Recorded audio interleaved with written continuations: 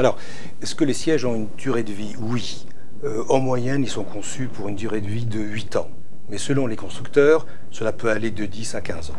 Quand faut-il changer de siège auto? Tout d'abord, en cas d'accident. Si le siège a été impliqué dans un accident, il faut le changer. Il ne faut pas du tout hésiter.